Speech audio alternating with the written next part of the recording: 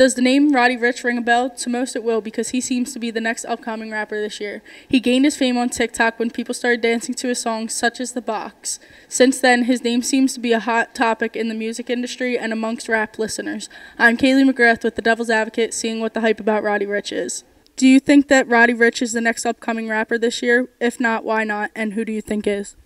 Um, he's definitely killing the game, but I think he's gonna burn out soon. And the next person to be up, Bobby Shmurda. Do you know any songs by Roddy Ricch? If so, what ones? Uh, the box, high fashion, some start with me or something. Have you ever heard or saw dances of his on TikTok? If so, what ones and do you know the dance? The box and yes. What is your favorite song by Roddy Ricch and why? The box, because it's fire. What are your thoughts on The Box by Roddy Ricch? Do you like it? What do you like or dislike about it? I love the box.